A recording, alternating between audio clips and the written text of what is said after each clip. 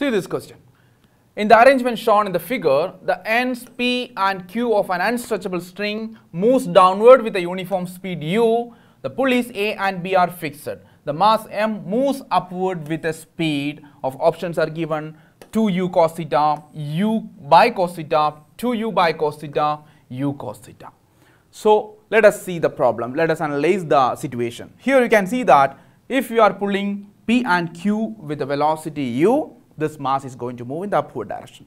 Immediately, we can create a right angle triangle here. All of you listen very carefully. So, along the center line, one line I am drawing, then along the rope I am drawing another line and I am going to connect these two lines. So, I am getting a proper right angle triangle, a Pythagorean triangle is obtained.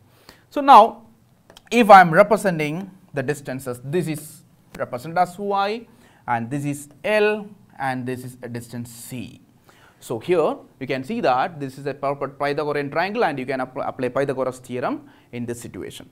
Now, let us see an animated illustration of the situation. Here you can see that the P and Q we are pulling with the same velocity in the downward direction as a result the mass is going in the upward direction. See if you are pulling at different velocity this distance c is going to vary. Here since we are pulling at same velocity the c the distance from the pulley to the center line is going to be constant always.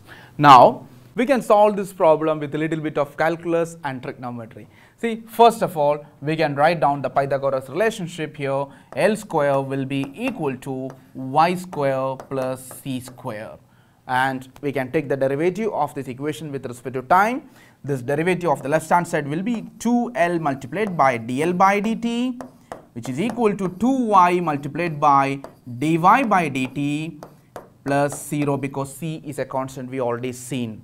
The c is not going to vary with respect to time. So, here immediately we can cancel out this 2 and you will get a relationship L is equal to or L we can say dl by dt is equal to y by L multiplied by dy by dt. See what is dl by dt? dl by dt is nothing but the velocity at which we are pulling u, uh, velocity at which we are pulling p and q in the downward direction. So, this is u. So, u will be equal to y by L multiplied by dy by dt. See what is dy by dt?